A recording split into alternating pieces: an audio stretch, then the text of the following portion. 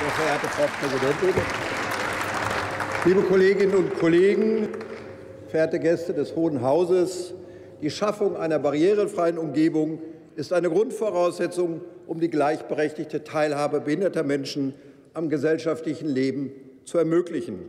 Das wollen wir, und das ist für uns selbstverständlich. Lassen Sie uns gern darüber reden, was man tun kann, um die Entwicklung einer barrierefreien Gesellschaft zu beschleunigen, um etwa der Freiwilligkeit einen zusätzlichen Anreiz zu geben. Aber muss man gleich mit der Keule ausholen? um zu erzwingen, was noch nicht aus Freiwilligkeit geschehen ist und was vielleicht deshalb noch nicht geschehen ist, weil die Entwicklung hin zu einer wirklich barrierefreien, Genera barrierefreien Gesellschaft eine Generationenaufgabe ist.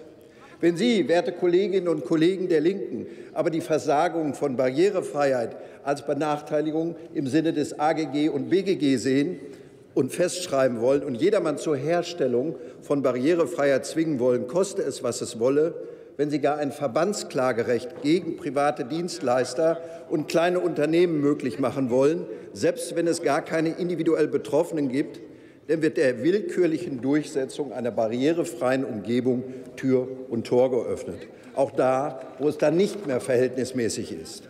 Wenn wir von wenn wir von Teilhabe reden, wozu Barrierefreiheit gehört, dann reden wir auch von Miteinander. Zwei Gruppen, nämlich Menschen mit und ohne Behinderung, sollen gleichberechtigt und zufrieden miteinander leben können und zu einer Gruppe werden, zu einer Gemeinschaft, einer Gesellschaft, in der alle gleichberechtigt miteinander leben können. Darum muss man den Gemeinschaftsgedanken fördern. Und ich meine es ehrlich, wir wollen das fördern und verbessern.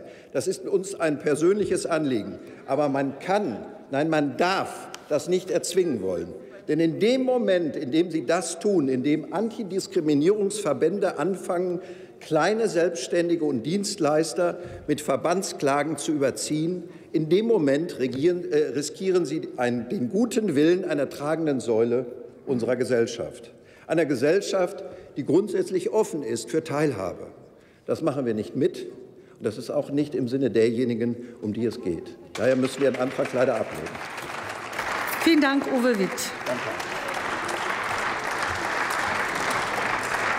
Nächster Redner Wilfried Oellers für die CDU-CSU-Fraktion.